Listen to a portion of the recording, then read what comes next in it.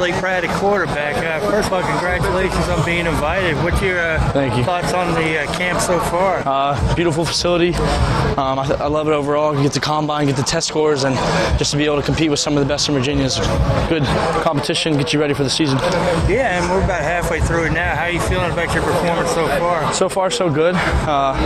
Getting the combine scores, and then I'm looking forward after lunch to go some one-on-ones and go against the best. It, it should be interesting. Now, last year was kind of a breakthrough year for you. Threw over 2,400 yards, Yes, sir. 29 touchdowns, first team all region. Yes, sir.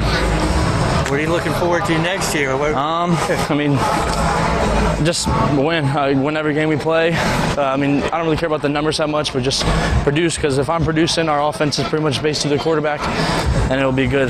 So, yeah, I mean, who's who's really helping you along the way here? Um, I mean, we lost most of our starters, but we got some young guys coming up. But there, I think they we have some big potential. We have uh, Quinton James, little brother from last year, number one. His brother, right. Max James, who'll play outside receiver. Uh, Carl Fanfan, who'll be our other outside receiver. here today, right? Um, we have a j- rising senior coming up, Will Sides, who'll be off, sl- who'll be off slot. He'll be really good.